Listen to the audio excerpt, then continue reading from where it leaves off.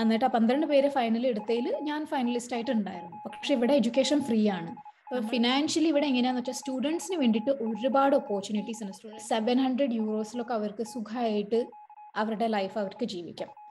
Government നമ്മൾക്ക് monthly ഒരു ഒരു ഒരു എമൗണ്ട് നമ്മൾക്ക് തരും. പ്ലസ് എനിക്ക് നല്ല പോലെ സേവും ചെയ്യാനായിട്ട് എനിക്ക് പറ്റിയിട്ടുണ്ട്. എല്ലാവർക്കും നമസ്കാരം. ഇന്ന് നമ്മുടെ യൂട്യൂബ് ചാനലിൽ ഒരു വിശേഷപ്പെട്ട ഒരു അതിഥിയാണ് നമ്മൾ ജോയിൻ ചെയ്യാൻ പോകുന്നത്. സ്വാതി ശശികുമാർ. സ്വാതി ആക്ച്വലി ഒരു മലയാളി പെൺകുട്ടിയാണ്. പുള്ളിക്കാരി ഇപ്പോ ലോകത്തിലെ തന്നെ ഏറ്റവും സയൻസിന്റെ ഇൻസ്റ്റിറ്റ്യൂട്ടിലെ ഏറ്റവും ബെസ്റ്റ് ഇൻസ്റ്റിറ്റ്യൂട്ട് ജർമ്മനിയിലെ മാക്സ് പ്ലാങ്ക് ഇൻസ്റ്റിറ്റ്യൂട്ടിലെ ഒരു സയന്റിസ്റ്റ് പൊസിഷൻ ഒരു പോസ്റ്റ് ഡോക് പൊസിഷനിൽ ജോലി ചെയ്തുകൊണ്ടിരിക്കുകയാണ്. പി എച്ച് ഡി ജർമ്മനിയിൽ നിന്ന് കഴിഞ്ഞിട്ട്. അപ്പൊ സ്വാതിക്ക് സ്വാതി നേടിയ ഈ വിജയങ്ങളെ പറ്റിയിട്ടുള്ള വിശേഷങ്ങളാണ് നമ്മൾ ഇന്ന് ഈ വീഡിയോയിലൂടെ ചെയ്യാൻ പോകുന്നത്. നമസ്കാരം സ്വാതി. നമസ്കാരം. അപ്പൊ സ്വാതിയുടെ യാത്ര അതായത് നമ്മൾ നേരിട്ട് വിഷയങ്ങളിലേക്ക് കിടക്കാണ്. സ്വാതി നാട്ടിൽ നിന്നാണ് പഠിച്ചതും കാര്യങ്ങളൊക്കെ എന്നിട്ട് ഇപ്പൊ ജർമ്മനി വരെ എത്തിയത്. അപ്പൊ എങ്ങനെയായിരുന്നു സ്കൂളിങ്ങും കാര്യങ്ങളൊക്കെ? അതെ ഞാൻ എന്റെ അച്ഛനമ്മയും ജോലി ചെയ്തിരുന്നത് മഹാരാഷ്ട്രയിലെ ഒരു അഹമ്മദ്നഗർ എന്ന് പറഞ്ഞ സ്ഥലത്തായിരുന്നു. അപ്പോൾ ഞങ്ങൾ ജനിച്ചു വളർന്നതൊക്കെ അവിടെയായിരുന്നു. അപ്പോൾ ഞാൻ എന്റെ ടെൻത്ത് വരെ പഠിച്ചതൊക്കെ അവിടെയായിരുന്നു. അത് കഴിഞ്ഞിട്ട് പിന്നെ നാട്ടിലേക്ക് വന്ന് പ്ലസ് ടു നാട്ടിൽ കഴിഞ്ഞു. ബാച്ചിലേഴ്സ് പിന്നെ വിമല കോളേജ് തൃശ്ശൂരിൽ നിന്നാണ് ഞാൻ ചെയ്തത്. അത് കഴിഞ്ഞ പിന്നെ എനിക്ക് പിന്നെ മാസ്റ്റേഴ്സിന് വേണ്ടിയിട്ട് നല്ലൊരു സ്ഥലത്ത് വരാനായിട്ട് ആഗ്രഹം ഉണ്ടായിരുന്നു. അപ്പോൾ ഞാൻ പക്ഷെ നാട്ടിലല്ലാതെ അച്ഛനമ്മയുടെ അടുത്ത് നിന്ന് പഠിക്കണം എന്നായിരുന്നു. അപ്പോൾ അവിടെ വന്നിട്ട് ചെയ്യാനായിട്ട് കുറച്ച് ശ്രമിച്ചു. അപ്പൊ അന്നേരത്ത് കുറച്ചൊരു ഒരു ഡേറ്റ് മിസ് ചെയ്തത് അപ്ലിക്കേഷൻ ഡേറ്റ് മിസ്സായ കാരണം കൊണ്ട് മുംബൈ യൂണിവേഴ്സിറ്റിയിൽ പി എച്ച് മാസ്റ്റേഴ്സ് ചെയ്യാനുള്ള ഒരു ഓപ്പർച്യൂണിറ്റി കയ്യിൽ നിന്ന് ഒരു ലേശത്തിന് വിട്ടുപോയിരുന്നു അപ്പൊ പിന്നെ വീണ്ടും തിരിച്ച് നാട്ടിലേക്ക് തന്നെ വന്ന് ഒരു വർഷം വെറുതെ കളയണ്ടല്ലോ എന്ന് വെച്ചിട്ട് പിന്നെ ശ്രീശങ്കര കോളേജ് കാലടിയിൽ മാസ്റ്റേഴ്സിന് കയറിയത്. സിമ്പിൾ ഒരു കോളേജാണത് ഒരു ഗവൺമെന്റ് ഒരു എയ്ഡഡ് ഗവൺമെന്റ് കോളേജാണ് അപ്പൊ അവിടെ നിന്നാണ് മാസ്റ്റേഴ്സ് പഠിച്ചത്. അവിടെ ഉണ്ടായിരുന്ന ഒരു ഗുണം എന്ന് വെച്ചാൽ അവിടെ എനിക്ക് നല്ലൊരു ടീച്ചർ ഉണ്ടായിരുന്നു. അവർ അവർ അവരവരുടെ പി എച്ച് ഡി ഒക്കെ ചെയ്തത് ജർമ്മനിയിലായിരുന്നു. പിന്നെ ബാച്ചിലേഴ്സ് ചെയ്യണ സമയത്തും അല്ലെങ്കിൽ വളരെ കുഞ്ഞിലെ തന്നെ എനിക്ക് ഒരു ഐഡിയ ഉണ്ടായിരുന്നു. ലൈക്ക് എനിക്ക് മോർ ലൈക്ക് സ്പേസ് സയൻസിലേക്ക് അല്ലെങ്കിൽ ഒരു ഒരു റിസർച്ച് സയൻസിലേക്ക് പോകണം എന്നുള്ള കാര്യം എനിക്ക് അറി ലൈക്ക് കൈൻഡ് ഓഫ് ഒരു ഒരു ഏകദേശം സ്കൂൾ ടൈംസിൽ തന്നെ ഒരു നല്ലൊരു ഇതുണ്ടായിരുന്നു. അപ്പൊ അത് കാരണം കൊണ്ട് ആ ഒരു റൂട്ട് ഞാൻ നേരത്തെ തന്നെ എടുത്തു. ബാച്ചിലേഴ്സ് ചെയ്ത് കഴിഞ്ഞ ആ സമയത്ത് ട്രാക്ക് ക്ലിയർ ആയിരുന്നു. എന്ത് വേണം എന്നുള്ള ഒരു സംശയം ഉണ്ടായിരുന്നില്ല. അതെ സംശയം ഉണ്ടായിരുന്നില്ല ശരിക്കും പറഞ്ഞാൽ എനിക്കപ്പോ അത് വളരെ ക്ലിയർ ആയി നിൽക്കുന്ന സമയത്ത് തന്നെ എന്താ പറയാ ബാച്ച് അപ്പൊ ബി എസ് സി ഫിസിക്സ് ഒക്കെ എടുത്തപ്പോഴപ്പോ മിക്കവാറും നാട്ടിലുള്ളൊക്കെ ഒരു അല്ല നാട്ടിൽ അല്ലെങ്കിൽ ഇന്ത്യയിൽ പൊതുവേ ഉള്ള ഒരു ഒരു ധാരണ എങ്ങനെയാന്ന് വെച്ചാൽ ഒരു സിമ്പിൾ ഒരു നാച്ചുറൽ സയൻസിലുള്ള ഒരു പി എച്ച് ഡി ഒരു ഒരു ഒരു ഡിഗ്രി കോഴ്സ് എന്നൊക്കെ പറയുമ്പോൾ അതിന് അത്ര വാല്യൂ ഇല്ല. അത് അധികം പ്രൊഫഷണൽ കോഴ്സസ് ആയിട്ടുള്ള എഞ്ചിനീയറിംഗ് കോഴ്സസോ അല്ലെങ്കിൽ മെഡിക്കൽ പ്രൊഫഷണൽ കോഴ്സസ് ഒക്കെ ആകുമ്പോഴാണ് അതിന് കുറേയൊക്കെ ഒരു നല്ലൊരു ഇതിലായിട്ട് കാണപ്പെടുന്നത്. പക്ഷെ പി എസ് സി ഫിസിക്സ് എന്നൊക്കെ പറയുമ്പോൾ അത്രയും ഒരു ഒരു വാല്യൂ ഇല്ലാത്തൊരു ഇതായിരുന്നു. പക്ഷെ എന്റെ എന്റെ സ്വന്തം എന്റെ പേരൻസ് തന്നെ എന്റെ അമ്മയ്ക്കൊക്കെ തോന്നിയിട്ടുണ്ട്. ലൈക്ക് എഞ്ചിനീയറിംഗ് എടുത്തൂടെ എന്നൊക്കെ പറഞ്ഞിരുന്നു എന്റെ അടുത്ത്. പക്ഷെ എനിക്ക് ഷുവർ ആയിരുന്നു എനിക്ക് ഇതാ വേണ്ട എന്നുള്ളത്. ആ സമയത്ത് എനിക്ക് തോന്നുന്നു അക്കാഡമിക്സിൽ ജോയിൻ ചെയ്തിട്ടുള്ള എല്ലാവരും ഒബിയസ്ലി കേട്ടിട്ടുള്ള ഒരു ചോദ്യമായിരിക്കും. ലൈക്ക് ബാച്ചിലേഴ്സ് ഡിഗ്രി ഒരു ഏതെങ്കിലും നാച്ചുറൽ സയൻസോ അല്ലെങ്കിൽ ആർട്സോ അങ്ങനെ എല്ലാവരും കേട്ടിട്ടുള്ള ഒരു ചോദ്യമായിരിക്കും എന്തായാലും ഈ ഒരു ചോദ്യം. ഞാനും. അതെ അതെ തീർച്ചയായിട്ടും അതെ. അത് ആ ഒരു രീതിയിൽ ഉണ്ടായിരുന്ന ഒരു കാര്യമായിരുന്നു. പക്ഷെ പിന്നെ അതിൽ തന്നെ നിന്നു മാസ്റ്റേഴ്സ് തീർത്തു. ഇമ്പോർട്ടന്റ് ആയിട്ടുള്ള കാര്യം ഉണ്ടായിരുന്നു വെച്ചാൽ എന്റെ ചേച്ചിയുടെ ഒരു ഒരു ഒരു ഒരു ഒരു അഡ്വൈസും അതുപോലെ തന്നെ ഞാൻ ചെയ്തിരുന്ന കുറച്ച് റിസർച്ചിൽ നിന്നുള്ള ഒരു ഒരു കാര്യം മനസ്സിലായിരുന്നു. വെച്ചാൽ മാസ്റ്റർ തീസിസ് എത്രത്തോളം നന്നായിട്ട് ചെയ്യും അത്ര തന്നെ നമ്മൾക്ക് പോസിബിലിറ്റീസ് ഫെർദർ ലൈഫിലേക്ക് ഒരുപാട് നല്ലതായിരിക്കും നന്നായിട്ടാണ്. അപ്പൊ അതുകൊണ്ട് തന്നെ ഞാൻ മാസ്റ്റർ തീസിസിലേക്ക് ഒരുപാട് നേരത്തെ തന്നെ അതിലേക്ക് ഇൻവെസ്റ്റ് ചെയ്ത് തുടങ്ങി. എനിക്ക് എന്താ വേണ്ട കണ്ടുപിടിച്ച് തുടങ്ങി. എന്നിട്ട് നല്ലൊരു മാസ്റ്റർ തീസിസ് ചെയ്തു. അപ്പൊ മാസ്റ്റേഴ്സിന്റെ ആ സമയത്ത് തീസിസ് ചെയ്യാൻ വേണ്ടിയിട്ട് എന്തൊക്കെയായിരുന്നു ആ സമയത്ത് സ്വാതി സ്പെഷ്യൽ ആയിട്ട് എഫേർട്ട് എടുത്തത്? ഏത് ഇൻസ്റ്റിറ്റ്യൂട്ടിലായിരുന്നു എങ്ങനെയായിരുന്നു അതിനെ അപ്രോച്ച് ചെയ്തതൊക്കെ? നാട്ടിൽ ഉള്ള കോളേജസിൽ അല്ലെങ്കിൽ ഇൻസ്റ്റിറ്റ്യൂട്ട്സിലുള്ള ഒരു പ്രശ്നം എന്താണെന്ന് വെച്ചാൽ മാസ്റ്റർ തീസിസ് ചെയ്യാൻ വേണ്ടിയിട്ട് ഒരു ഒരു സെമിസ്റ്റർ കംപ്ലീറ്റ് നമ്മൾക്ക് തരണില്ല ഇവിടെയൊക്കെ ഉള്ള ഇൻസ്റ്റിറ്റ്യൂട്ട്സിന് ഒപ്പോ ലൈക്ക് ഓപ്പോസ് ആയിട്ട് നോക്കുവാണെങ്കിൽ. എനിക്ക് തോന്നുന്നു നാഷണൽ ഇൻസ്റ്റിറ്റ്യൂട്ടുകളും അതായത് സെൻട്രൽ ഇൻസ്റ്റിറ്റ്യൂട്ടുകളിലും ആറുമാസം പ്രൊജക്ടിന് വേണ്ടിയിട്ട് കൊടുക്കുന്നുണ്ട്. ഇന്ത്യയിൽ പക്ഷെ സ്റ്റേറ്റ് യൂണിവേഴ്സിറ്റികളിൽ ഒരിക്കലും നമുക്ക് അങ്ങനെ ഒരു ഓപ്ഷൻ അങ്ങനെ കിട്ടണില്ല. അതെ അപ്പൊ നമ്മൾക്ക് ഒപ്പം തന്നെ നമ്മളെ പേപ്പേഴ്സും ക്ലിയർ ചെയ്യണം അതിന്റെ ഒപ്പം തന്നെ തീസിസും ചെയ്യണം എന്നായിട്ടാണ്. അപ്പൊ റിസർച്ച് ഓറിയന്റഡ് ആയിട്ടുള്ള ഒരു ഒരു മാസ്റ്റർ മാസ്റ്റേഴ്സ് അല്ല ആയിട്ട് വരണത് അപ്പോൾ മാസ്റ്റേഴ്സ് ചെയ്യുന്ന സമയത്ത് അപ്പൊ എനിക്കിപ്പോ ഉണ്ടായിരുന്ന പ്രശ്നം എന്താണെന്ന് വെച്ചാൽ എനിക്ക് ഏതെങ്കിലും ഒരു ഇൻസ്റ്റിറ്റ്യൂട്ടിൽ പോയി അവിടെ നിന്ന് നല്ല അപ്പൊ നമ്മുടെ ഓപ്പർച്യൂണിറ്റീസ് കുറയാണ്. ഞാൻ ഇപ്പോഴും കേട്ടിട്ടുണ്ട് പലപ്പോഴും സ്റ്റുഡൻസിന് ഐ ഐ ടീസിനും അല്ലെങ്കിൽ നല്ല ഇൻസ്റ്റിറ്റ്യൂട്ട്സിന് ഓപ്പർച്യൂണിറ്റീസ് കിട്ടുന്നുണ്ട് വന്ന് സിക്സ് മന്ത് പ്രൊജക്ട് ചെയ്യാം മാസ്റ്റർ തീസിസ് ചെയ്യാം. പക്ഷെ അവരെ അനുവദിക്കണില്ല ടീച്ചേഴ്സ് കാരണം അറ്റൻഡൻസ് തരില്ല എന്ന് പറയും. അല്ലെങ്കിൽ അങ്ങനെ എന്തെങ്കിലും പ്രശ്നമായിട്ടായിരിക്കും അവർക്ക് ചെയ്യാൻ പറ്റാതെ പോകുന്നത്. അൺഫോർച്ചുനേറ്റ് ആണ് അത് ശരിക്കും പറഞ്ഞാൽ കാരണം അതിനോട് ആഡ് ചെയ്തിട്ട് നമ്മൾ പറയുകയാണെങ്കിൽ ഇപ്പൊ നമ്മൾ പലപ്പോഴും പുറത്തേക്ക് പി എച്ച് ഡി നോക്കുന്നു അല്ലെങ്കിൽ അങ്ങനത്തെ കാര്യങ്ങൾ നോക്കുമ്പോൾ മാസ്റ്റേഴ്സ് എന്ത് ഡിഗ്രി ആയിരുന്നു എന്നുള്ളതല്ല ശരിക്കും ഇമ്പോർട്ടന്റ് നമ്മൾ എന്തായിരുന്നു നമ്മളുടെ തീസിസ് തീസിസ് ചെയ്ത ഏതാണ് ഇമ്പോർട്ടന്റ് നമ്മൾ റിസർച്ച് എക്സ്പീരിയൻസ് എന്താണ്? അതാണ് ഏറ്റവും ഇമ്പോർട്ടന്റ് ആയിട്ടുള്ള സ്പെഷ്യലി ഫോർ റിസർച്ച് ജോബ്സ് അല്ലെങ്കിൽ റിസർച്ച് ഡിഗ്രി നമ്മൾ അപ്രോച്ച് ചെയ്യുമ്പോൾ മറ്റേ ഇപ്പൊ എന്താ പറയാ ഇപ്പൊ നമ്മൾ പി എസ് സി എഴുതുന്നത് അതിനൊന്നും വിഷയമല്ല പക്ഷെ ഇങ്ങനെയുള്ള കാര്യങ്ങളിൽ തീസിസ് ടൈറ്റിൽ ഈസ് ഇമ്പോർട്ടന്റ് അതെ അതെ. ഇപ്പൊ എന്റെ ഓർമ്മയിൽ ശരിക്കും പറഞ്ഞാൽ അതൊരു ഒരു ഒരു ഇതും ആയിരിക്കാം ലൈക്ക് ഒരുപാട് പിള്ളേർക്ക് ജസ്റ്റ് ഒരു ഡിഗ്രി മതി എന്നുള്ള പിള്ളേർക്ക് അത് അത്ര വലിയ ഇമ്പോർട്ടന്റ് ഒരു കാര്യമല്ല. ഒരു ഒരു മാസത്തിനുള്ളിൽ എങ്ങനെയെങ്കിലും ഒരു തീസിസ് എഴുതി അത് സബ്മിറ്റ് ചെയ്യുക എന്നേ ഉണ്ടായിരുന്നുള്ളൂ. ഞാൻ അപ്പോ ഒരു ആ സെമസ്റ്റർ തുടങ്ങണേക്കാളും മുമ്പ് തന്നെ എനിക്ക് ബാച്ചിലേഴ്സിൽ പഠിപ്പിച്ചിരുന്ന ഒരു ടീച്ചർ ഉണ്ടായിരുന്നു. ആ പുള്ളിക്കാരിയെ കണ്ട് പിടിച്ച് ഒരു കംപ്ലീറ്റ്ലി വേറൊരു ഇൻസ്റ്റിറ്റ്യൂട്ടിൽ പിന്നെ പഠിപ്പിക്കേണ്ടായിരുന്നു. അവിടെ കണ്ടുപിടിച്ച് അവരെ അടുത്ത് ഞാൻ പിന്നെ എനിക്ക് ഏത് ടോപ്പിക്കിലാണ് വർക്ക് ചെയ്യേണ്ട എന്നുള്ള ഡിസ്കസ് ഒക്കെ ചെയ്ത് പിന്നെ ഞങ്ങൾ രണ്ടുപേരും കൂടിയിട്ട് കംപ്ലീറ്റ്ലി ഫോൺ കോൾസിലും കോൾസിലൊക്കെ ആയിരുന്നു അന്നേരം കാര്യങ്ങൾ നടന്നിരുന്നത്. അപ്പോ ഞാൻ മിക്കവാ മിക്കവാറും എന്താ പറയുക ഇത് നേരം കഫേസിലൊക്കെ പോയിരുന്ന് അവിടുന്ന് ഇന്റർനെറ്റ് യൂസ് ചെയ്തിട്ടൊക്കെയാണ് ശരിക്കും പറയാം ഞാൻ എന്റെ റിസർച്ച് ഒക്കെ കംപ്ലീറ്റ് ചെയ്തത്. അന്നേരത്തെ ഇന്റർനെറ്റ് ഇന്നത്തെ പോലത്തെ ഒരു ഭൂമിലല്ല. വ്യത്യാസമുണ്ട് അപ്പോ പിന്നെ ഫോൺസും ഇപ്പോഴത്തെ പോലത്തെ നല്ല സ്മാർട്ട് ഫോൺസും അങ്ങനെ നല്ലൊരു ഇതൊന്നും അല്ല. വേറെ ഇതുകളൊക്കെയാണ്. ചെറിയ ഫോൺസും ചെറിയ കാര്യങ്ങളൊക്കെയാണ്. അപ്പോ ഏത് വർഷമായിരുന്നു മാസ്റ്റേഴ്സ് കംപ്ലീറ്റ് ചെയ്തത് ഞാൻ masters two thousand eleven to two thousand thirteen ആ ടൈമിലായിരുന്നു ഓ നമ്മളപ്പോ സെയിം ഗ്രൂപ്പാണ് അതെ അതെ. അപ്പോ ആ ടൈമിലാണ് ഞാൻ കംപ്ലീറ്റ് ചെയ്തത്. അപ്പൊ നേരത്ത് ഇല്ല എന്നല്ല ഞാൻ പറഞ്ഞത് കംപ്ലീറ്റ്ലി. പക്ഷെ ഇന്നത്തെ പോലെയല്ല. വ്യത്യാസമുണ്ട് ഒരുപാട് വ്യത്യാസമുണ്ട് ആക്ച്വലി ഞാനൊക്കെ യൂസ് ചെയ്തിരുന്ന ഫോൺ തന്നെ എനിക്ക് തോന്നുന്നു എൻ സീരീസിന്റെ അതെ അതെ. അതെ ഒരു ക്വർട്ടി പാഡിന്റെ ഒരു ഒരു ചെറിയ ഒരു ഒരു ഫോണായിരുന്നു എന്റെ കയ്യിലൊക്കെ ഉണ്ടായിരുന്നത്. പിന്നെ സ്വന്തം ഒരു ഒരു ചെലവിലല്ലല്ലോ സ്വന്തം അല്ലല്ലോ ചെയ്യണത്. പേരൻസിന്റെ കയ്യിൽ നിന്ന് നമ്മൾ മേടിച്ചിട്ടാണ്. അപ്പൊ അതുകൊണ്ട് ഒരുപാട് അധികം പുഷും ചെയ്യാൻ പറ്റില്ല. അത് ഒരു ഒരു ഇതിൽ തന്നെ ആയിരിക്കണം. അപ്പൊ അങ്ങനെ അത് അധികം അവർക്ക് അറിയായിരുന്നു പക്ഷെ ഒരുപാട് പാഷൻ ഉണ്ട് ഒരു കാര്യത്തിൽ. അതുകൊണ്ട് കഫേസിൽ പോയിരുന്ന് ചെയ്യാ വർക്ക് ചെയ്യാ. അതൊക്കെയായിരുന്നു. കോളേജിൽ തന്നെയായിരുന്നു അപ്പൊ പ്രൊജക്ട് ചെയ്തിരുന്നത്. കോളേജിൽ അതായത് കോളേജിൽ ഞാൻ നിന്നു. പക്ഷെ എന്റെ ഈ ഈ മാസ്റ്റേഴ്സ് സൂപ്പർവൈസർ എന്റെ കോളേജിൽ നിന്നായിരുന്നില്ല. വേറെയായിരുന്നു. നമ്മൾക്ക് ഏകദേശം നമ്മുടെ എങ്ങോട്ടാ പോണ്ടേ എന്നുള്ള ഒരു ഫീൽഡ് അറിയാമെന്നെങ്കിൽ ലൈക് ഫെർദർ ലൈഫിലേക്ക് അത് ആ ഫീൽഡിൽ മാസ്റ്റേഴ്സ് ചെയ്താൽ അത് കുറേയും കൂടി ഹെൽപ്ഫുൾ ആയിരിക്കും. അങ്ങനെ പലവരും എന്ന് വെച്ചാൽ മേ ബി ഇപ്പം ഞാൻ പാർട്ടിക്കൽ ഫിസിക്സിലാണ് ഞാനിപ്പോൾ പി എച്ച് ഡി ചെയ്തത്. എന്റെ ഇപ്പോൾ ഉള്ള റിസർച്ചും പാർട്ടിക്കൽ ഫിസിക്സിലാണ് പക്ഷേ എന്താ പറയാ പലപ്പോഴും ഇന്ത്യയിൽ അധികവും മറ്റീരിയൽ സയൻസിലാണ് വർക്ക്സ് നടക്കണത്. ഒരുപാട് ഒരു തൊണ്ണൂറ് ശതമാനമെങ്കിലും മറ്റീരിയൽ സയൻസിലാണ് നടക്കണത്. അപ്പോൾ അപ്പൊ അതിൽ മാസ്റ്റേഴ്സ് ചെയ്തിട്ട് പിന്നെ ഇങ്ങോട്ട് വരുമ്പോൾ ഇമ്പോസിബിൾ അല്ല. ഓഫ് കോഴ്സ് അത് ഓക്കെ ആണ്. പക്ഷെ കുറച്ചും കൂടി ഡിഫിക്കൽട്ട് ആയിരിക്കും പിന്നെ ആ ഒരു ട്രാൻസേഷൻ അതുകൊണ്ട് നമുക്ക് അറിയെങ്കിൽ ഒരു സെയിം ഫീൽഡിൽ തന്നെ മാസ്റ്റർ ചെയ്യാനായിട്ട് നേരത്തെ തന്നെ ശ്രമിക്കാം. അപ്പൊ അത് കുറെ ഹെൽപ്ഫുൾ ആയിരിക്കും. അപ്പൊ ഏത് യൂണിവേഴ്സിറ്റിയിലായിരുന്നു പിന്നീട് പി എച്ച് ഡി ചെയ്യാൻ ജോയിൻ ചെയ്തത്? പി എച്ച് ഡി ഞാൻ ഹാംബർഗ് യൂണിവേഴ്സിറ്റിയിലാണ് പി എച്ച് ഡി ഞാൻ എന്റെ ഇതായിട്ടുള്ളത് എന്താ പറയുക രജിസ്റ്റേർഡ് ആയിട്ടുള്ള ഹാംബർഗ് യൂണിവേഴ്സിറ്റിയിലാണ് പക്ഷെ ഞാൻ പി എച്ച് ഡി ചെയ്തിരുന്നത് ഡോയിച്ചസ് ഇലക്ട്രോൺ ആൻഡ് സിൻക്രിട്രോൺ എന്ന് പറഞ്ഞിട്ടുള്ള ഒരു ഒരു റിസർച്ച് ഇൻസ്റ്റിറ്റ്യൂട്ട് ആണ്. അത് ജർമ്മൻ ആ അതെ.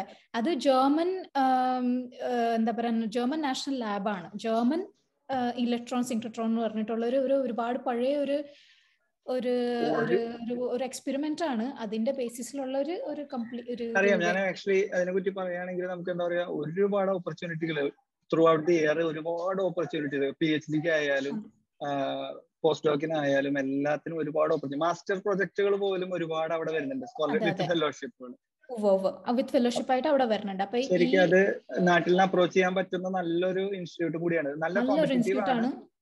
അതെ ഡോയിച്ച് ഇലക്ട്രോണിക് സിംഗ്രട്രോണും അതിന്റെ പേര് അതിനെ ചുരുക്കിയിട്ട് ഡെയ്സി എന്ന സാധാരണ ഞങ്ങളെ എല്ലാവരും വിളിക്കുക അത് ഹാംബർഗിലാണ്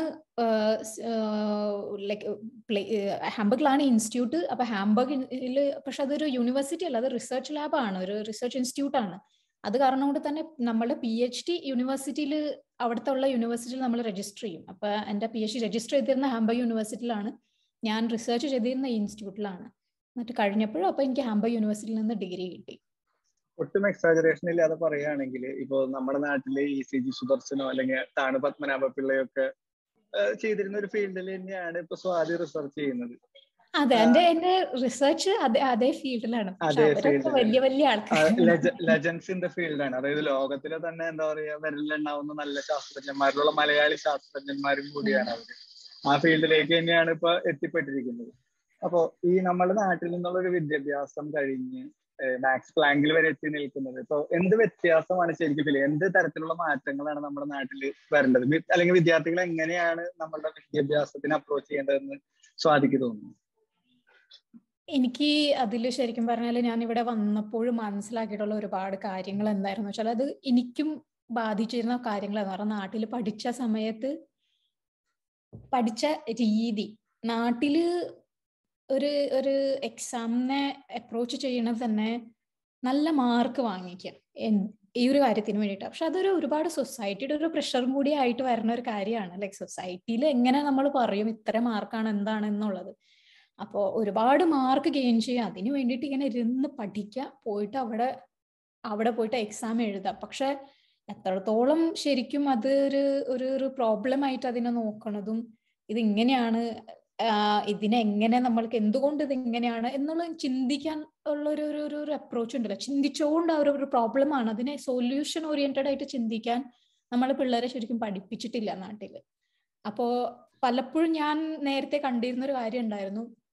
ഞാൻ തന്നെ വന്നിരുന്ന സമയത്തൊക്കെ ഒരു കാര്യം ഇങ്ങനെ പറയുമ്പോൾ ഞാൻ ഓ ഇതാണല്ലേ പ്രശ്നം. എന്നായിട്ട് ഞാൻ എനിക്ക് നോക്കും. പക്ഷെ ഹാ ഇതിനെ ഇങ്ങനെ വേണമെങ്കിൽ അപ്രോച്ച് ചെയ്യാം. ആ ഒരു ചിന്ത വരില്ലായിരുന്നു നേരത്തെ. അത് ഡെവലപ്പ് ചെയ്യാനായിട്ട് സമയമെടുത്തു. പക്ഷെ അതേ സമയത്ത് ഇവിടെ ഉണ്ടായിരുന്ന ഈവൻ മാസ്റ്റർ സ്റ്റുഡൻസ് ഞാൻ പി എച്ച് ഡി ഉണ്ടായിരുന്ന സമയത്ത് തന്നെ മാസ്റ്റർ സ്റ്റുഡൻസ് ആയി വന്നിരുന്ന ജർമ്മൻ സ്റ്റുഡൻസിന് ഓൾറെഡി ഈ അപ്രോച്ച് ഉണ്ട്. അവർ നന്നായിട്ട് അവർ ഒരു പ്രോബ്ലം ഇങ്ങനെ നോക്കുമ്പോൾ പെട്ടെന്ന് അവരുടെ ചിന്ത പോണത് like how we can sort this out എന്നുള്ളൊരു രീതിയാണ് അവരുടെ ഒരു ഇത്. ലൈക് കോസ് തീറ്റനെ എന്തിനിപ്പോ കോസ് തീറ്റം സൈൻ തീറ്റ ഒക്കെ പഠിച്ച് നമുക്കിത് ലൈഫിൽ എവിടെ ഉപകാരപ്പെടുന്നു പറഞ്ഞിട്ട് പല സിനിമ സിനിമകളിൽ തന്നെ നമുക്ക് നോക്കിക്കഴിഞ്ഞാൽ ഈ ലസാഗു സാഗോ ഒക്കെ പഠിച്ചിട്ട് ഒരു നിലയിലെത്തി ആരും എനിക്ക് പരിചയമില്ല എന്ന് പറയുന്നത് എക്സാക്ട്ലി സത്യം പറഞ്ഞാൽ ഞാൻ മനസ്സിലാക്കിയപ്പോൾ നമ്മളെ നാട്ടിലൊരു ടെൻ ടെൻ ഒരു ടെൻത്ത് വരെ അല്ലെങ്കിൽ ടെൻ പ്ലസ് ടു വരെയുള്ള ഒരു എഡ്യൂക്കേഷൻ ശരിക്കും വരെ നല്ല എഡ്യൂക്കേഷൻ ആണ്. നല്ല സിലബസ് ആണ് കാര്യങ്ങളൊക്കെ നല്ലതാണ്. പക്ഷെ അത് കഴി പിന്നെ ആ വരണ അല്ലെങ്കിൽ നമ്മളെ പിള്ളേർ എൻട്രൻസ് ഒക്കെ എഴുതി കഴിഞ്ഞിട്ട് വരണ ഐ ഐ ടിസിലൊക്കെ വരണ പിള്ളേരുണ്ടല്ലോ അവരൊക്കെ ഒരുപാട് ക്രീമാണ് ശരിക്കും പറഞ്ഞത് വേൾഡിൽ തന്നെ നോക്കുമ്പോൾ. പക്ഷെ പിന്നെ അവരെ എങ്ങനെയാണ് മുന്നിലേക്ക് അവരെ യൂസ് ചെയ്യണത്? അവിടെയാണ് കംപ്ലീറ്റ് ഡിഫറൻസ് ഉള്ളത്. ലൈക്ക് അത്രയും നല്ലൊരു ബ്രെയിനിനെ എടുത്തിട്ട് പിന്നെ അവരെ എങ്ങനെയാ ചാനൽ ചെയ്യണത്? അല്ലെങ്കിൽ അവരെ ഏത് രീതിയിലാണ് അവരെ മുന്നിൽ കൊണ്ടുപോകണം അതിൽ ഒരുപാട് ഡിഫറൻസ് ഉണ്ട്. അതുപോലെ ഇവിടുത്തെ പിള്ളേരെ നോക്കുമ്പോൾ ചിലപ്പോൾ അവർ ടെൻത്ത് അല്ലെങ്കിൽ ടെൻ പ്ലസ് ടു വരെയുള്ള പിള്ളേർക്ക് ചിലപ്പോൾ ആ ഒരു ലെവൽ ഉണ്ടായിരിക്കില്ല.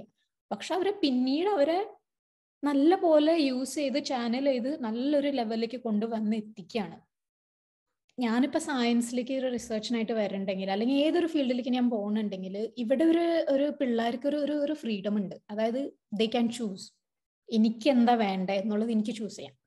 പിന്നെ വേറെ ഉള്ളത് എന്താന്ന് വെച്ചാൽ ഞാനത് ചൂസ് ചെയ്തിട്ട് എനിക്കത് ഓക്കെ അല്ല എന്ന് ഫീ മനസ്സിലായാൽ അത് വേണ്ടാന്ന് വെക്കാനുള്ള ഫ്രീഡമും എനിക്കുണ്ട്. ഇപ്പൊ ഞാൻ ഒരു കാര്യം ഇപ്പൊ വേണ്ടാന്ന് ലൈക്ക് ഞാൻ കംപ്ലീറ്റ് ഒരു ടോർച്ചർ അവിടെ എക്സ്പീരിയൻസ് ചെയ്യായിരിക്കും മേ ബി പക്ഷെ വേണ്ടാന്ന് വെക്കണില്ല. കാരണം ആൾക്കാർ എന്ത് പറയും? എന്തായിരിക്കും ഒരു ചിന്ത. ഒരുപാട് പല പലയിടത്തും. അപ്പൊ ക്വിറ്റ് ചെയ്യുക എന്ന് വെച്ചാൽ ഒരു കംപ്ലീറ്റ് ഫെയിലിയർ എന്ന് വിചാരിക്കേണ്ട കാര്യമില്ല. ഇഫ് ഞാൻ എനിക്കത് വർക്ക് ചെയ്യുന്നില്ല അത് എന്റെ അത് എന്റെ ആയിട്ടുള്ള ഒരു പ്രശ്നമല്ല. ലൈക് എന്റെ കൺട്രോളിന്റെ ബിയോണ്ട് ആയിട്ടുള്ള പ്രശ്നങ്ങളാണ്. ആ പ്രശ്നങ്ങൾ സോൾവ് ആവാൻ യാതൊരു വക വഴിയില്ല എന്നുള്ള അവസ്ഥ വരാണെങ്കിൽ ഇറ്റ്സ് ഓക്കെ ടു ക്വിറ്റ് പക്ഷെ ആ അതിനുള്ളൊരു ധൈര്യം നമ്മളെ നാട്ടിൽ അല്ലെങ്കിൽ നമ്മളെ ആൾക്കാർ എത്രത്തോളം കൊടുക്കുന്നുണ്ട് എന്നുള്ളൊരു വിഷയം തന്നെയാണ്. ആ ഒരു കെപ്പബിലിറ്റിയിൽ വളർത്തി കൊണ്ടുവരിക എന്നുള്ളതും ഭയങ്കര ഇമ്പോർട്ടന്റ് അവർക്ക് ഡിസിഷൻ എടുക്കാനുള്ളൊരു കെപ്പബിലിറ്റി ഉണ്ടാവുക എന്നുള്ളത്. Like what do you want മിക്കവാറും പിള്ളേർക്ക് എല്ലാം ഇങ്ങനെ സ്പൂൺ ഫീഡ് ചെയ്തിട്ടാണ് വരുന്നത് അവരുടെ ഡിസിഷൻസ് പോലും.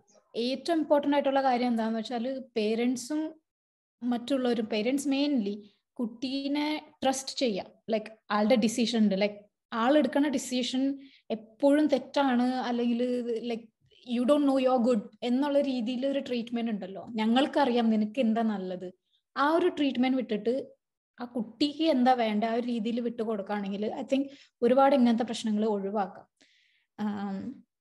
എന്നാ എനിക്ക് തോന്നുന്നു. ഓ തീർച്ചയായിട്ടും. സോ അത് ഇനി നമ്മൾക്ക് ആക്ച്വലി ജർമ്മനിയിലൊക്കെ വിദ്യാർത്ഥികൾക്ക് ഒരുപാട് അവസരങ്ങളുണ്ട്. എനിക്ക് തോന്നുന്നു ഇവൻ വിദ്യാഭ്യാസം ഒക്കെ അവിടെ ഫ്രീ ആണ്. മാസ്റ്റേഴ്സ് വരെയുള്ള വിദ്യാഭ്യാസം നമ്മളുടെ നാട്ടിൽ നിന്ന് നോക്കുന്ന വിദ്യാർത്ഥികൾക്ക് സ്വാതിക്ക് കൊടുക്കാനുള്ള സജഷൻസ് ഇപ്പൊ സ്പെസിഫിക് സ്കോളർഷിപ്പ് അല്ലെങ്കിൽ സ്വാതി പഠിച്ച എക്സ്പീരിയൻസിന് സ്വാതിക്ക് കൃത്യമായിട്ട് അറിയാം. അപ്പൊ അതിനെ പറ്റിയിട്ട് സ്വാതി ഒന്ന് പറയാൻ പറ്റും അതെ. മാസ്റ്റർ ഇവിടെ മാസ്റ്റേഴ്സ് വരെയുള്ള എഡ്യൂക്കേഷൻ ആക്ച്വലി ഫ്രീ ആണ്. ഫ്രീ എന്ന് വെച്ചാൽ യൂണിവേഴ്സിറ്റിയിൽ നമ്മൾക്ക് അതായത് നമ്മൾ യു കെയിലോ യു എസിലൊക്കെ പോവുകയാണെങ്കിൽ ഒരുപാട് തൗസൻഡ്സ് ഓഫ് ഡോളേഴ്സ് നമുക്ക് ശരിക്കും കൊടുക്കേണ്ടി വരും.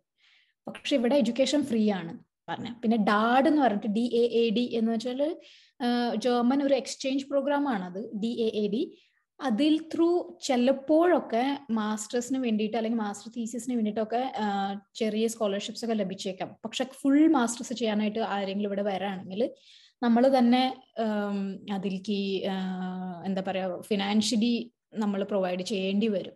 അപ്പോൾ ഫിനാൻഷ്യലി ഇവിടെ എങ്ങനെയാന്ന് വെച്ചാൽ സ്റ്റുഡൻസിന് വേണ്ടിയിട്ട് ഒരുപാട് ഓപ്പർച്യൂണിറ്റീസ് ഉണ്ട്. സ്റ്റുഡൻസിന് ഒരുപാട് കൺസെഷൻസ് ഉണ്ട്. അവർക്ക് കിട്ടണ വീടുകൾ ഇവിടെ താമസിക്കാനായിട്ടുള്ളത്. നോർമലി ഇപ്പോൾ എന്താ പറയുക ഇവിടെ ഒരു ഒരു നമ്മളൊരു ഒരു അഡൾട്ട്സ് അഡൾട്ട്സ് എന്ന് പറയുമ്പോൾ സ്റ്റുഡൻസ് അല്ലാണ്ട് ജോലി ചെയ്യണ ആൾക്കാരൊക്കെ ഒരു നോർമലി ഒരു അവറേജ് ഒരു വീടൊക്കെ അവർ എടുക്കുകയാണെങ്കിൽ ഒരു റൂമിന് maybe eight hundred to thousand euros അല്ലെങ്കിൽ അതേക്കാളും മേലെ ആയിട്ടേ വരുള്ളൂ. പക്ഷെ സ്റ്റുഡൻസിന് ഇങ്ങനെ ഒരു സ്റ്റുഡന്റ് ഡോംസിലൊക്കെ വീട് കിട്ടുമ്പോൾ ഒരു two hundred to three hundred to അല്ലെങ്കിൽ മാക്സിമം ഫോർ ഹൺഡ്രഡ് യൂറോസിലൊക്കെ അവർക്ക് റൂംസ് കിട്ടും. പിന്നെ അത് കഴിഞ്ഞിട്ട് പിന്നെ അവരുടെ ചെലവ് ഒരു two hundred three hundred euro ഒക്കെ അവരുടെ ചെലവും കൂടി കഴിഞ്ഞാൽ മാക്സിമം ഒരു മന്ത്ലി സെവൻ ഹൺഡ്രഡ് യൂറോസിലൊക്കെ അവർക്ക് സുഖമായിട്ട് അവരുടെ ലൈഫ് അവർക്ക് ജീവിക്കാം. അപ്പോ ഇവിടെ വരുമ്പോൾ master as a master student ആയിട്ട് വരുമ്പോൾ ഉണ്ടാവുന്ന ഒരു ഒരു കാര്യം ഇതാണ്. ലൈക്ക് വി ഹാവ് ടു ആ ഒരു ആ ഒരു ഫിനാൻഷ്യലി നമ്മൾ ആദ്യം തന്നെ നോക്കണം. ലൈക്ക് മന്ത്ലി ഒരു സെവൻ ഹൺഡ്രഡ് യൂറോയുടെ ഒരു ഒരു ഒരു ബാലൻസ് നമ്മളെ കയ്യിൽ ഉണ്ടായിരിക്കണം. അതിന്റെ ബേസിസിലാണ് വിസയും കിട്ടണത് പിള്ളേർക്ക്. മാസ്റ്റേഴ്സിന് വരുന്ന പിള്ളേർക്ക് വിസയും കിട്ടണത് ആ ഒരു ഇതില്ല ലൈക്ക് ഒരു ഇയറിന് വേണ്ടിയിട്ട് ഒരു ബ്ലോക്ക്ഡ് എമൗണ്ട് ഇത്രയും പൈസയുടെ seven hundred euro per month ഇതിൽ നമ്മൾ വെക്കേണ്ടി വരും. പി എച്ച് ഡിക്ക് അതിനെ മറിച്ച് എങ്ങനെയാണെന്ന് വെച്ചാൽ പി എച്ച് ഡി ഇവിടെ ഒരു ജോലിയായിട്ടാണ് കൺസിഡർ ചെയ്യപ്പെടുന്നത്. പണ്ടൊക്കെ സ്റ്റൈപ്പൻസ് എന്നുള്ള രീതിയിലായിരുന്നു പക്ഷെ ഇപ്പൊ സ്റ്റൈപ്പൻസ് അല്ല ഇപ്പൊ പ്രോപ്പർ സാലറിയാണ് നമ്മൾക്ക് കിട്ടുന്നത് അപ്പൊ സാലറിയിൽ പറയുമ്പോൾ നമ്മൾ അതിൽ ഇൻകം ടാക്സ് പേ ചെയ്യുന്നുണ്ട് പെൻഷൻ പേ ചെയ്യുന്നുണ്ട്. അതുപോലെ തന്നെ ഹെൽത്ത് ഇൻഷുറൻസും എല്ലാ കാര്യങ്ങളും നോർമൽ ഒരു ഒരു ആരും വർക്ക് ചെയ്യണ എല്ലാ ബെനിഫിറ്റ്സും അവൈലബിൾ ആണ്. എല്ലാ ബെനിഫിറ്റ്സും നമ്മൾ ചെയ്തുകൊണ്ടാണ് നമ്മൾ ഒരു പി എച്ച് ഡി ഇത് ചെയ്യുന്നത് പക്ഷെ പി എച്ച് എന്ന് പറഞ്ഞാൽ കോൺട്രാക്ട് എന്ന് വെച്ചാൽ ഹാഫ് കോൺട്രാക്ട് എന്ന് പറയുന്നത് ഫിഫ്റ്റി പെർസെന്റ് അല്ലെങ്കിൽ സിക്സ്റ്റി ഫൈവ് പെർസെന്റ് കോൺട്രാക്ട് എന്നാ പറയാ അതിന്. ഞാൻ ചെയ്തിരുന്ന സമയത്ത് ഫിഫ്റ്റി പെർസെന്റ് കോൺട്രാക്ട് ആയിരുന്നു. ഇപ്പൊ അത് ഇനിയും ബെറ്റർ ആയിട്ട് ഇപ്പൊ സിക്സ്റ്റി ഫൈവ് പെർസെന്റ് കോൺട്രാക്റ്റിലാണ് വന്നിരിക്കും അപ്പൊ പിള്ളേർക്ക് കുറെ ചില ഒരു ഒരു ഒരു ഫുൾ എംപ്ലോയി വർക്ക് ചെയ്യണ കോൺട്രാക്ടിന്റെ സിക്സ്റ്റി ഫൈവ് പെർസെന്റ് അവർക്ക് സാലറി കിട്ടും. ആ ഒരു ആ ലെവലിൽ അത്രയും അവേഴ്സ് ആണ് അവർ വർക്ക് ചെയ്യേണ്ടത് എന്നായിട്ടാണ് വരം. പക്ഷെ of course P H D ആകുമ്പോഴേ നമ്മൾ അത്ര അവേഴ്സ് മാത്രം വർക്ക് ചെയ്താൽ പി എച്ച് ഡി തീരുന്നില്ല. നമ്മൾ നന്നായി വർക്ക് ചെയ്യേണ്ടി വരും. ഒരുപാട് കുട്ടികൾക്കുള്ള ഒരു സംശയമായിരിക്കും ഈ ഈ പറഞ്ഞ പോലെ നല്ലൊരു ചെലവുള്ളതുകൊണ്ട് പാർട്ട് ടൈം ജോലി ഭയങ്കര ഇമ്പോർട്ടന്റ് ആണ്. അപ്പോൾ വിദ്യാർത്ഥികൾ വരുന്നവർക്ക് അത് എങ്ങനെയാണ് അതിന്റെ കാര്യങ്ങളെല്ലാം? മാസ്റ്റേഴ്സിന് വരുന്നവർക്ക് പാർട്ട് ടൈം ജോലി ചെയ്യേണ്ടി വരും. പക്ഷെ പി എച്ച് ഡിക്ക് വരുന്നവർക്ക് പാർട്ട് ടൈം ജോലി ചെയ്യേണ്ട ആവശ്യമില്ല. പി എച്ച് ഡിക്ക് വരുന്നവർക്ക് അതായത് ഞാനിപ്പോൾ പി എച്ച് ഡിക്ക് ആയിട്ട് ഇവിടെ വന്നത്.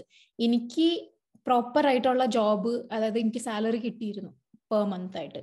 അപ്പൊ ആ സാലറി കാരണമുണ്ട് എന്റെ ലൈഫ് വളരെ ഭംഗിയായിട്ടൊക്കെ നടന്നു പോയിരുന്നു. പ്ലസ് എനിക്ക് നല്ല പോലെ സേവും ചെയ്യാനായിട്ട് എനിക്ക് പറ്റിയിട്ടുണ്ട്. അപ്പോ ലൈക്ക് ഒരു റീസണബിൾ ആയിട്ട് ചെലവ് ചെയ്താൽ നമുക്ക് നല്ല പോലെ സേവും ചെയ്യാം. നമുക്ക് ഒരു ഒരു സുഖമുള്ള ഒരു ലൈഫ് ആയാലും ഇപ്പൊ ഒരുപാട് സ്കോളർഷിപ്പുകൾ ഉണ്ട് മേരി ക്യൂറി ഫെലോഷിപ്പ് അങ്ങനെയുള്ള ഒരുപാട് കാര്യങ്ങളെല്ലാം നമുക്ക് സ്കോളർഷിപ്സിൽ എങ്ങനെയൊക്കെ? അപ്പൊ ഡെയ്സിയിൽ തന്നെ ഡെയ്സിയിൽ എനിക്ക് എങ്ങനെ ഉണ്ടായിരുന്നു വെച്ചാൽ അവിടെ ഞങ്ങൾ ഡെയ്സിയിൽ ഒരു ഒരു ഒരു ഫെലോഷിപ്പ് പ്രോഗ്രാം ഉണ്ടായിരുന്നു ഞാൻ അതിലേക്കാണ് അപ്ലൈ ചെയ്തിരുന്നത്. അപ്പോൾ ആ ഡെയ്സിയുടെ ഫെലോഷിപ്പ് പ്രോഗ്രാം ഇപ്പോൾ അത് ഇപ്പൊ അത് ഇല്ല എന്നാണ് എന്റെ ഒരു അറിവ്. അത് മാറിയോ എന്നുള്ള അറിഞ്ഞൂടാ. പക്ഷെ ലാസ്റ്റ് ടു ത്രീ ഇയേഴ്സ് അത് ഉണ്ടായിരുന്നില്ല. അപ്പൊ ആ പ്രോഗ്രാമിലാണ് ഞാൻ ഞാൻ പാർട്ടിസിപ്പേറ്റ് ചെയ്തിരുന്നത്. അതൊരു ലൈക്ക് വേൾഡ് ഫുൾ ഉള്ള ആൾക്കാർ ഒരു two thousand five hundred something ആൾക്കാർ അതിലേക്ക് ഇത് ചെയ്തിട്ടുണ്ടായിരുന്നു. അപ്ലിക്കേഷൻസ് അയച്ചിട്ടുണ്ടായിരുന്നു. അതിൽ നിന്ന് അവർ പന്ത്രണ്ട് പേരെയാണ് ഫൈനലി എടുത്തത്.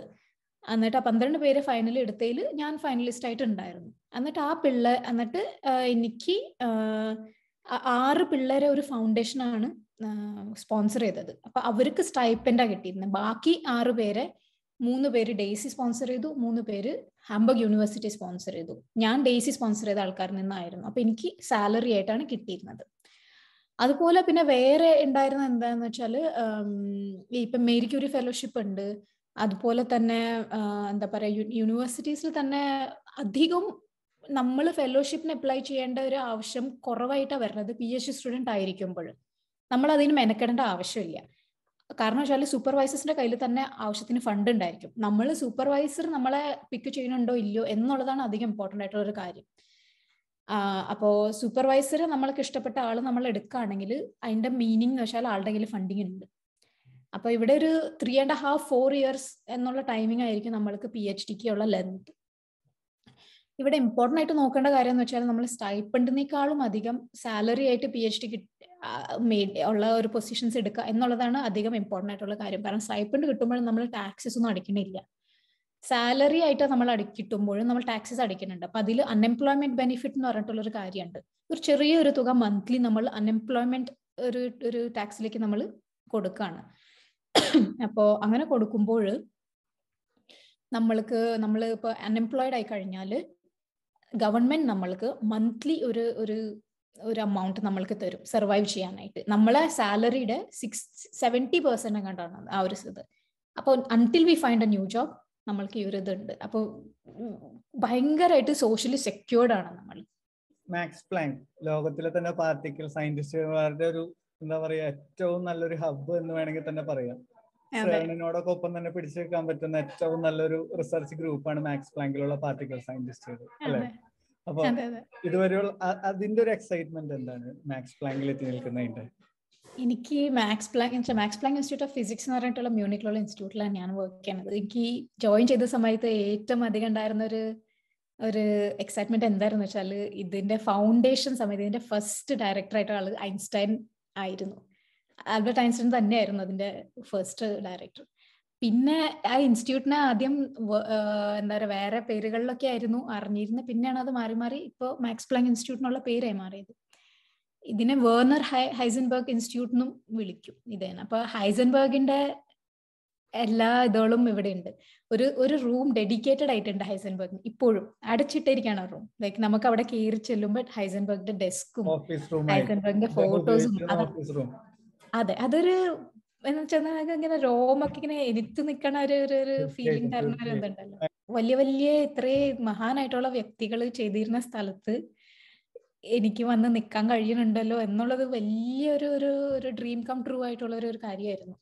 സേൺ ലാർജ് ഹാഡ്രോൺ കൊളൈഡർ അങ്ങനെയുള്ള ഏതെങ്കിലും ഒരു ആക്സലറേറ്റർ എപ്പോഴെങ്കിലും വിസിറ്റ് ചെയ്യാനുള്ള അവസരങ്ങളൊക്കെ കിട്ടിയിട്ടുണ്ടോ? ഐ മീൻ അതിന്റെ കോർ റിസർച്ച് ലാബുകളിലൊക്കെ ഞാൻ പറഞ്ഞ പോലെ എനിക്ക് ഞാൻ പറഞ്ഞല്ലോ ഞാൻ അവരുടെ എക്സ്പെരിമെന്റ്സിൽ ഡയറക്റ്റ്ലി ഇൻവോൾവ് അല്ലാത്ത കാരണം കൊണ്ട് എനിക്ക് അങ്ങോട്ട് ഇതുവരെ പോകാൻ പറ്റില്ലായിരുന്നു പക്ഷെ ഇപ്പോ ലൈക്ക് ജൂണിൽ എനിക്കൊരു ചാൻസ് ഉണ്ടായിരുന്നു സേണിലേക്ക് പോകാനായിട്ട് അവിടെ ഞങ്ങൾ ടെസ്റ്റ് ബീംസ് എന്ന് പറയും. അതായത് അവിടെ നിന്നുള്ള ഈ ഇലക്ട്രോണിന്റെ അല്ലെങ്കിൽ പ്രോട്ടോണിന്റെ ഒക്കെ ബീംസ് ഇങ്ങനെ പോകുമ്പോൾ അതിൽ ഞങ്ങൾ ഞങ്ങളെ എക്സ്പെരിമെന്റിന്റെ പ്രോട്ടോടൈപ്പ് അതായത് ഒരു ഒരു ഒരു ഒരു ഒരു ചെറിയ രീതിയിൽ നമ്മൾ ഉണ്ടാക്കണത് അതിന് വലിയ എക്സ്പെരിമെന്റ് ഒരു ചെറിയ രീതിയിൽ നമ്മൾ ഒരു ഇത് പ്രോട്ടോടൈപ്പ് ഉണ്ടാക്കിയിട്ട് അത് അതുമായി ടെസ്റ്റ് ചെയ്യാണ്. അതിന് വേണ്ടിയിട്ട് ഒരു അവസരം ഉണ്ടായിരുന്നു. പക്ഷെ അന്നേരത്തെ എനിക്ക് കോവിഡ് പിടിച്ചു. അപ്പോ അത് കാരണം കൊണ്ട് എനിക്ക് പോകാൻ പറ്റിയില്ല. പക്ഷെ അപ്പൊ പക്ഷെ എന്റെ സൂപ്പർവൈസർ ഇന്നലെ എന്റെ അടുത്ത് പറഞ്ഞത് ലൈക്ക് സെപ്റ്റംബറിൽ ഒരു ഒരു ഓപ്പർച്യൂണിറ്റി കൂടി വരുന്നുണ്ട്. അപ്പോൾ ഇഫ് ഐ വോണ്ട് എനിക്ക് പോകാം എന്നുള്ളത്. അപ്പോൾ അഗെയിൻ എക്സൈറ്റിംഗ് ഓപ്പർച്യൂണിറ്റി അതുകൊണ്ട് നോക്കാം എങ്ങനെയാണെന്നുള്ളത്. അപ്പൊ ആക്ച്വലി ഇതുവരെ എത്തി നിൽക്കുന്ന വിജയം എന്ന് പറഞ്ഞു കഴിഞ്ഞാൽ ഒരുപാട് വലിയ വിജയം തന്നെയാണ്. അതായത് നാട്ടിൽ നിന്നും ഒരു സാധാരണ സ്റ്റേറ്റ് യൂണിവേഴ്സിറ്റിയിൽ നിന്നും ഡിഗ്രി ചെയ്ത് മാക്സ് പ്ലാങ്ക് എന്ന് പറയുന്ന റിസർച്ച് ഇൻസ്റ്റിറ്റ്യൂട്ടിൽ പാർട്ടിക്കിൾ സയന്റിസ്റ്റ് ആയിട്ട് നിൽക്കുന്ന ഇതുവരെയുള്ള. അപ്പൊ ഇതുവരെയുള്ള സ്ട്രഗിളുകൾ സ്വാതി ഇതുവരെ അനുഭവിച്ചിട്ടുള്ള സ്ട്രഗിളുകൾ എന്ന് പറഞ്ഞു കഴിഞ്ഞാൽ ഒരുപാട് ഉണ്ടാവുന്ന പേഴ്സണലി എനിക്ക് മനസ്സിലാവും എന്തൊക്കെയാണെന്ന്. അപ്പോൾ ആ സ്ട്രഗിളുകൾ എങ്ങനെ ഓവർകം ചെയ്ത് ഇതുവരെ എത്തി? സ്വാതിയുടെ അത്തരത്തിലുള്ള സ്റ്റോറികൾ എനിക്ക് തോന്നുന്നു ഒരുപാട് വിദ്യാർത്ഥികൾക്ക് യൂസ്ഫുൾ ആവും. അപ്പൊ അതൊന്ന് പറയാവോ? എനിക്ക് ഏറ്റവും വലിയ സ്ട്രഗിൾ ശരിക്കും ഉണ്ടായിരുന്നെന്ന് വെച്ചാൽ മാസ്റ്റേഴ്സ് കഴിഞ്ഞ് നിൽക്കുമ്പോൾ ഇരുപത്തിരണ്ട് വയസ്സ് പ്രായമുണ്ട് അപ്പോൾ അന്നേരത്ത് കൂടെയുള്ള പെമ്പിള്ളേരെല്ലാവരും കല്യാണം കഴിഞ്ഞ് ബാക്കി കാര്യങ്ങളൊക്കെ ഇപ്പൊ നോക്കാണ്. അപ്പൊ അന്നേരത്ത് എന്താ പറയാ നമ്മൾ വലിയ കാര്യമായിട്ട് ആപ്ലിക്കേഷൻസ് പുറനാട്ടിലേക്ക് അയച്ചുകൊണ്ടിരിക്കുകയാണ് ഞാൻ നാട്ടിൽ ഞാൻ എന്റെ അച്ഛനമ്മയുടെ അടുത്ത് വന്ന് നിന്ന് ആപ്ലിക്കേഷൻസ് അയക്കണ സമയത്ത് എന്റെ അമ്മയ്ക്ക് ഒട്ടും തന്നെ ഈവൻ ദോ അമ്മയ്ക്ക് കുഞ്ഞിലേ അറിയായിരുന്നു ഞാൻ ഇങ്ങനെയാണ് എന്നുള്ളത്. എന്നാലും അമ്മ ഒരുപാട് ഹാപ്പി ആയിരുന്നില്ല ആ ഒരു കാര്യത്തിൽ അപ്ലിക്കേഷൻസിൽ തന്നെ ഹാപ്പി ആയിരുന്നില്ല. ലൈക്ക് എന്തിനിപ്പോ പുറംനാട്ടിലൊക്കെ പോകണ്ടേ? എന്തിനാ ഇതൊക്കെ ചെയ്യണ്ടേ? ഇതൊക്കെ ഇവിടൊക്കെ നിന്നൂടെ? ഞാൻ ആ ഒരു രീതിയിൽ അല്ലെങ്കിൽ മെയിൻലി അമ്മയ്ക്ക് വേറെ ഉണ്ടായിരുന്ന പ്രശ്നം എന്തായിരുന്നു വെച്ചാൽ ഇത് വലിയൊരു ഡ്രീമാണ് ഇത് പോസിബിൾ അല്ല.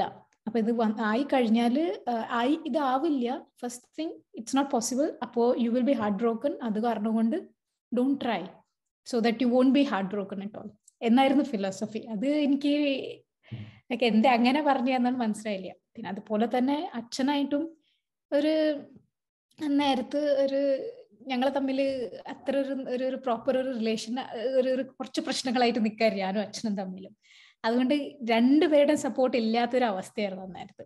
അപ്പോ നാട്ടിൽ സാധാരണ രീതിയിൽ വീട്ടിൽ എന്തെങ്കിലുമൊക്കെ ഫിക്സ് ചെയ്യാന്ന് പറയുമ്പോൾ ഇന്റർനെറ്റ് ഫിക്സ് ചെയ്യാൻ എന്റെ വീട്ടിൽ അന്നേരം ഇന്റർനെറ്റ് ഇല്ലായിരുന്നു. അപ്പോ ഫോൺ കമ്പനിയിലേക്ക് പോകലും അവിടെ അപ്ലിക്കേഷൻ ഇടലും ഇന്റർനെറ്റ് ഓഫീസിൽ പോയിട്ട് ഇന്റർനെറ്റ് വീട്ടിലേക്ക് കൊണ്ടുവരലും അതുപോലെ തന്നെ എല്ലാതും പാസ്പോർട്ടിന് അപ്ലൈ ചെയ്യലും എല്ലാ കാര്യങ്ങൾക്കും ഞാൻ ഒറ്റയ്ക്കാണ് പോയി ചെയ്തിരുന്നത് കാര്യങ്ങൾ ഇപ്പൊ അത് ചെറിയ കാര്യങ്ങളായിട്ട് തോന്നുമായിരിക്കും പക്ഷെ അന്നേരത്ത് ഇത് ഒരു ഫുൾ ഇയർ ഉണ്ടായിരുന്ന ഒരു ഒരു കാര്യമായിരുന്നു ശരിക്കും. അതേ സമയത്ത് എല്ലാവരുടെയും എല്ലാവരുടെയും പ്രഷേഴ്സ് ലൈക്ക് ഇത്ര പ്രായമായില്ലേ ഇനിയിപ്പോ കല്യാണമൊക്കെ കഴിച്ചൂടെ?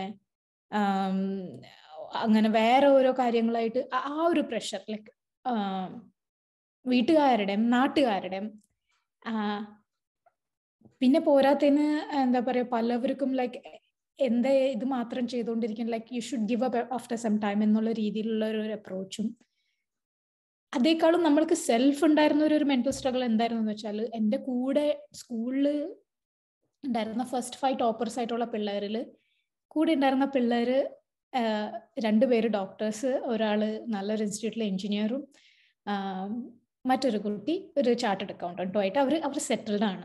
ഞാൻ മാത്രം സ്ട്രഗിളിങ് ഒരു സ്റ്റേജിലാണ് നിൽക്കുന്നത് അപ്പോൾ അവരെ മീറ്റ് ചെയ്യാൻ പോകുമ്പോൾ ഉണ്ടായിരുന്ന ഒരു മെന്റൽ സ്ട്രഗിൾ ലൈക് ഞാൻ അവരെ മുന്നിൽ ഒരു ചെറുതായി പോണുണ്ടോ എന്നുള്ള ഒരു ഫീലിംഗ് ഇതെല്ലാം കൂടി ഭയങ്കര ഒരു സ്ട്രഗിൾ ആയിരുന്നു ശരിക്കും പറഞ്ഞാൽ അൺടിൽ ദ ഫസ്റ്റ് ഇമെയിൽ ഒരു പോസിറ്റീവ് ഇമെയിൽ വരണ വരെ അത് അവിടെ വന്നപ്പോൾ പിന്നെ ഐ ഡിൻ കെയർ ആക്ച്വലി പിന്നെ ആര് എന്ത് പറഞ്ഞാലും അതൊരു വിഷയമായിരുന്നു അത് എനിക്ക് അറിഞ്ഞൂടെ അന്നേരത്തെ എന്ത് സ്ട്രെങ്ത് ആയിരുന്നു എന്നുള്ളത്. കാരണം ഇതൊക്കെ തന്നെ ആയിരിക്കും. ലൈക്ക് എല്ലാവരും എല്ലാവരും ഇങ്ങനെ പറയ പറയുമ്പോഴും പിന്നെ സക്സസ്ഫുൾ ആയിട്ടുള്ള പിള്ളേരുടെ ഇടയ്ക്ക് പോകുമ്പോൾ ഉണ്ടായിരുന്ന ഒരു മെന്റൽ സ്ട്രഗിളും കാരണം നമ്മൾ ചെറുപ്പത്തിൽ വളർന്നു വന്നപ്പോൾ അറിയായിരുന്നു ലൈക്ക് നമ്മളെ പൊട്ടൻഷ്യൽ എത്രത്തോളം ഉണ്ടാവാം എന്നുള്ളൊരു ഫീലിംഗ് ഉണ്ടായിരുന്നു. അവിടം വരെ ആയിട്ടില്ല എന്നുള്ളൊരു തോന്നൽ വന്നപ്പോൾ ആര് പറഞ്ഞതും ഒരു വിഷയമാക്കിയില്ല എന്നെ കൊണ്ട് കഴിയും എന്നുള്ളൊരു ഉറപ്പുണ്ടായിരുന്നു.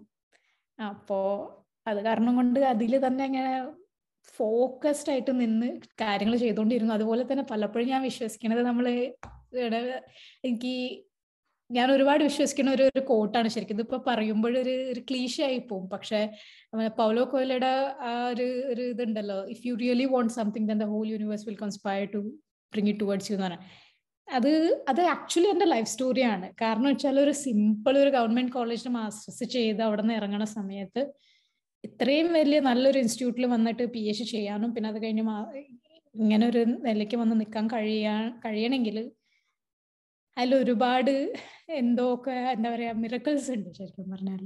അപ്പോൾ പക്ഷെ ഇമ്പോർട്ടന്റ്ലി ഞാൻ ഗിവപ്പ് ചെയ്തില്ല. അതായിരുന്നു ഏറ്റവും വലിയൊരു ഇത്. ആരെന്ത് പറഞ്ഞാലും അവർ പറഞ്ഞാട്ടെ. ചിലപ്പോഴൊക്കെ വിഷമം തോന്നും ഒരുപാട്. അതിനെ അങ്ങനെ പറയുമ്പോൾ എനിക്ക് ഓർമ്മയുണ്ട്. ഞാൻ പി എച്ച് ഡിയുടെ ഇടയ്ക്ക് ഒരു ദിവസം ഞാൻ ഒരു തവണ നാട്ടിൽ പോയ സമയത്ത് എന്റെ നാട്ടിലെല്ലാവർക്കും അറിയാം ഞാൻ ഇവിടെ പി എച്ച് ചെയ്യാന്നുള്ളത് ഒരു ഒരു ഒരു ഒരു അങ്കിൾ അച്ഛന്റെ ഒരു ഫ്രണ്ടായ ഒരാളാണ് ആ പുള്ളിക്കാരൻ എന്റെ അടുത്ത് നോക്കിയിട്ട് വെറുതെ എന്നോട് ചോദിച്ചു നീ ഇപ്പോഴും അവിടെയാണോ? ജോമനിലാണോ? അപ്പം ഞാൻ ആ അതെ എന്ന് പറഞ്ഞു. അപ്പം പുള്ളിക്കാരൻ എന്റെ അടുത്ത് ഇങ്ങനെ ഇങ്ങനെ ഒരു ഒരു വൺ നമ്മളില്ലേ ഒരു ഒരു മിനിറ്റിന്റെ മൗനം ലൈക്ക് ഗ്രീവൻസിലായിട്ട് ചെയ്യണ ഒരു ഇതുണ്ടല്ലോ. അതേ ഒരു ഇത് ആ പുള്ളിക്കാരൻ ചെയ്തു. അപ്പൊ എനിക്ക് വല്ലാണ്ട് വിഷമം തോന്നി. Like like who is he to decide എന്നുള്ള രീതിയിൽ. ആകെ ആൾക്കുണ്ടായിരുന്ന പ്രശ്നം എന്ന് വെച്ചാൽ പുറനാട്ടിലാണ്. കല്യാണം ഒന്നും കഴിഞ്ഞിട്ടില്ല. ഒന്നും ചെയ്തിട്ടില്ല. Like what are you doing അപ്പൊ പി എച്ച് ഡി എന്നൊരു വിഷയമല്ല നമ്മുടെ നാട്ടുകളിലൊക്കെ. അതൊക്കെ നമ്മുടെ നാട്ടിലൊക്കെ കല്യാണം കഴിഞ്ഞാൽ അത് ഏറ്റവും വലിയ അച്ചീവ്മെന്റ് ആണ്. ഒരുപാട് പിള്ളേർ അതിന് സഫർ ചെയ്യുന്നുണ്ട്. ഒരുപാട് പെൺകുട്ടികൾ എന്നെ മെസ്സേജ് ചെയ്യാറുണ്ട് എഴുതാറുണ്ട്. അവരൊക്കെ സഫർ ചെയ്യുന്ന എക്സാക്ട് സെയിം പ്രോബ്ലംസ് ആണ് ഇതൊക്കെ. ആൺപിള്ളേർക്ക് പിന്നെ അത്രത്തോളം പ്രശ്നങ്ങളില്ല ഈ ഒരു വിഷയത്തിൽ വരുമ്പോൾ. അപ്പോ അവർക്കും ഉണ്ട് നല്ല പോലെ കാരണം പുറംനാട്ടിൽ പോകാന്ന് പറയുമ്പോൾ എല്ലാ പേരൻസിനും ഒരു വിഷമമാണ്. പക്ഷെ അതേ സമയത്ത് പെൺകുട്ടികൾക്ക് സ്പെഷ്യലി ഒരുപാട് പ്രശ്നമായി മാറുന്നുണ്ട് ഈ കാര്യങ്ങൾ. ജോലിയൊന്നും ആയില്ലേ അതന്നെ അതന്നെ. അപ്പൊ അത് ഒരു വേറെ രീതിയിലുള്ള ഒരു പ്രഷറാണ്. വേറെ എന്തുണ്ടെങ്കിലും ഇൻഡിപെൻഡന്റ്ലി നിന്ന് നന്നായി നന്നായി ഏൺ ചെയ്ത് മേ ബി വീടൊക്കെ നല്ലപോലെ നോക്കണ പോലും ഉണ്ടായിരിക്കും. അങ്ങനത്തെ പല പല പിള്ളേരും ഇതുണ്ടായിരിക്കും. എന്നാലും അതൊന്നും ഒരു വിഷയമല്ല. കല്യാണം കഴിയുമ്പോഴായിരിക്കും എന്താ പറയാ ഏറ്റവും സക്സസ്ഫുൾ ആയിട്ടുള്ള ഒരു ഇത് ആയി മാറണത് എന്നുള്ള രീതിയിലാണ് കാണപ്പെടുന്നത് നാട്ടിൽ. ഇതിൽ എന്താ പറയാ ഇതിൽ സ്വയം സാക്രിഫൈസ് ചെയ്യണ ഒരുപാട് പിള്ളേരുണ്ട്. അപ്പോ അവരോട് എനിക്ക് പറയാം. പക്ഷെ അവരോടൊക്കെ എന്താ പറയേണ്ടതെന്ന് എനിക്കറിയില്ല. ചിലപ്പോൾ പേരൻസ് ഒക്കെ ഒരുപാട് സ്ട്രിക്റ്റ് ഒക്കെ ആയിരിക്കാം. എന്റെ പേരൻസ് ശരിക്കും പറഞ്ഞാൽ ഞങ്ങളുടെ ഞങ്ങളെ മൂന്ന് പിള്ളേരാണ്. ഞങ്ങളുടെ മൂന്ന് പേരുടെയും കാര്യത്തിൽ ഒരുപാട് ഫ്രീഡം തന്നിട്ടുണ്ട് ഞങ്ങൾക്ക്. ഞങ്ങളെ ഡിസിഷൻസ് റെസ്പെക്ട് ചെയ്തിട്ടുണ്ട് ഞങ്ങൾ എന്റെ പേരൻസ് അപ്പോൾ അവർ എന്താ പറയാ ഞങ്ങൾക്ക് അങ്ങനെ ഒരു ചൂസ് ചെയ്യാനുള്ള ഫ്രീഡം തന്നിട്ടുണ്ടായിരുന്നു. പക്ഷെ അതേ സമയത്ത് അമ്മ കുറച്ചൊന്ന് പേടിച്ചു അന്നേരത്ത്. ലൈക്ക് പുറം നാട്ടിൽ പോകണമെന്ന് പറയുമ്പോൾ കുറച്ച് പേടിച്ചു. അങ്ങനെ ഒരു റിയാക്ഷൻ ഉണ്ടായിരുന്നു. പക്ഷെ ആസ് സൂൺ ആസ് എനിക്ക് കിട്ടിയെന്ന് വന്നപ്പോൾ ദേ ഹാപ്പി സ്റ്റെം ഫീൽഡിലേക്ക് വരാനുള്ള കുട്ടികളോട് ഒരു ഫൈനൽ മെസ്സേജ് അത് കൊടുത്തിട്ട് നമുക്ക് നമ്മുടെ വീഡിയോ ചുരുക്കാം എന്താണ് സ്വാതിക്ക് പറയാനുള്ളത്? എനിക്കറിയില്ല എങ്ങനെയൊക്കെ പറയുമ്പോഴത് എന്താ പറയണ്ടെന്ന് എനിക്കറിയില്ല. പക്ഷെ ആകെ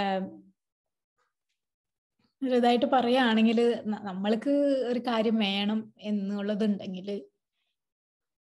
അതിന്റെ പുറകെ പോവുക അതിപ്പോ ആരെന്ത് പറഞ്ഞാലും ആരെന്ത് ചെയ്താലും അതിന് പിന്നാലെ പോവാം.